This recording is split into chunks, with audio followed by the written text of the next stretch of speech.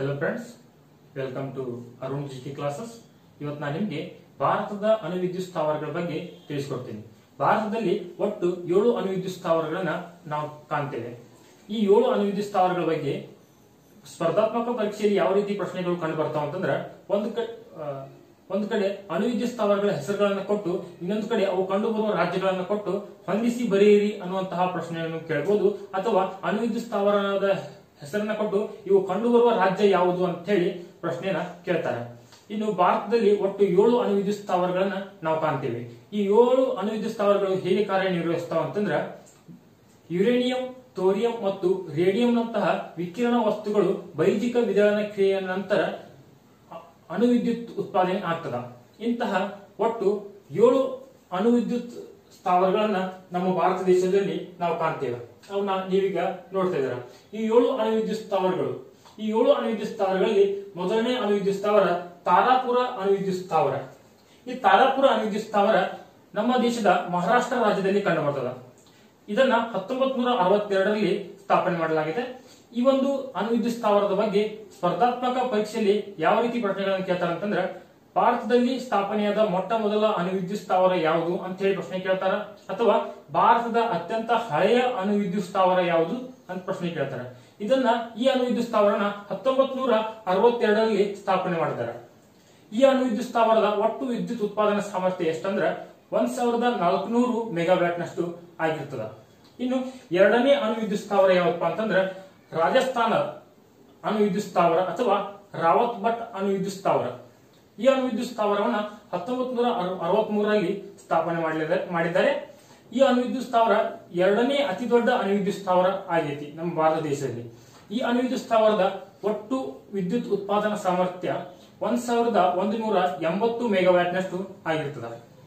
ಇನ್ನು ಮೂರನೇ ಅಣುವಿದ್ಯುತ್ ಸ್ಥಾವರ ಯಾವತ್ತು ಅಂತಂದ್ರ ಮದ್ರಾಸ್ ಅಣುವಿದ್ಯುತ್ ಸ್ಥಾವರ ಅಥವಾ ಕಲ್ಪಕಂ ಅಣುವಿದ್ಯುತ್ ಸ್ಥಾವರ. ಈ ಅಣುವಿದ್ಯುತ್ ಸ್ಥಾವರವನ್ನ ಹತ್ತೊಂಬತ್ತು ನೂರ ಎಪ್ಪತ್ತರಲ್ಲಿ ಸ್ಥಾಪನೆ ಮಾಡಲಾಗಿದೆ. ಈ ಒಂದು ಅಣುವಿದ್ಯುತ್ ಸ್ಥಾವರದ ಒಟ್ಟು ವಿದ್ಯುತ್ ಉತ್ಪಾದನಾ ಸಾಮರ್ಥ್ಯ ಎಷ್ಟಂದ್ರ ನಾಲ್ಕುನೂರ ನಲವತ್ತು ಮೆಗಾವ್ಯಾಟ್ ನಷ್ಟು ಆಗಿರ್ತದ.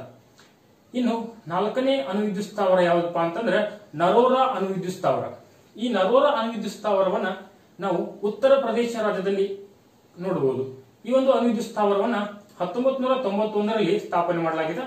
ಈ ಒಂದು ಅಣುವಿದ್ಯುತ್ ಸ್ಥಾವರದ ಒಟ್ಟು ವಿದ್ಯುತ್ ಉತ್ಪಾದನಾ ಸಾಮರ್ಥ್ಯ ಎಷ್ಟಪ್ಪ ಅಂತಂದ್ರೆ ನಾಲ್ಕುನೂರ ನಲವತ್ತು ಮೆಗಾವ್ಯಾಟ್ ಆಗಿರ್ತದ. ಇನ್ನು ಐದನೇ ಅಣುವಿದ್ಯುತ್ ಸ್ಥಾವರ ಈ ಒಂದು ಐದನೇ ಅಣುವಿದ್ಯುತ್ ಸ್ಥಾವರ ಯಾವುದು? ಅಂದ್ರೆ ಅದು ಕಾಕ್ರಾಪುರ ಅಣುವಿದ್ಯುತ್ ಸ್ಥಾವರ ಈ ಕಾಕ್ರಾಪುರ ಅಣುವಿದ್ಯುತ್ ಸ್ಥಾವರ ಭಾರತ ದೇಶದ ಗುಜರಾತ್ನ ಸುರತ್ನಲ್ಲಿ ಕಂಡು ಬರ್ತದ ಈ ಒಂದು ಅಣುವಿದ್ಯುತ್ ಸ್ಥಾವರ ಸ್ಥಾಪನೆ ಮಾಡಿದ ವರ್ಷ ಹತ್ತೊಂಬತ್ ನೂರ ಎಂಬತ್ನಾಲ್ಕು.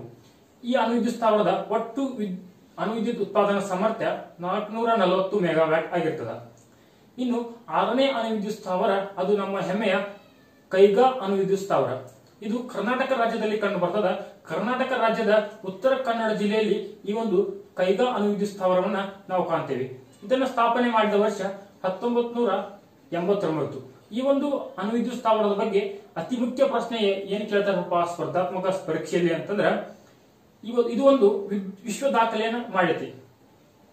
ಒಟ್ಟು ಒಂಬೈನೂರ ನಲವತ್ತೊಂದು ದಿನಗಳ ಕಾಲ ವಿದ್ಯುತ್ ಅನ್ನು ಉತ್ಪಾದನೆ ಮಾಡಿದ ಪ್ರಪಂಚದ ಮೊದಲ ಅಣುವಿದ್ಯುತ್ ಸ್ಥಾವರ ಯಾವುದು ಅಂತ ಕೇಳ್ತಾರೆ.